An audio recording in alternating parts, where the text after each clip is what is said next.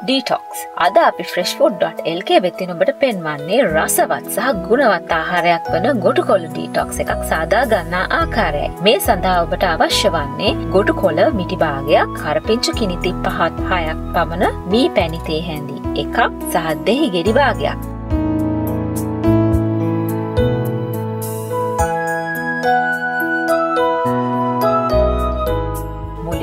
ගොට් කොලසා කරපිංච ජූස එකක ආධාරයෙන් ඒ යුෂ ලබා ගන්න. දැන් එම යුෂවලට දේසාමී පැණි තමා කලවම් කරගන්න. දැන් ගොටු කොල ඩීටොක්ස එක සූදානම්.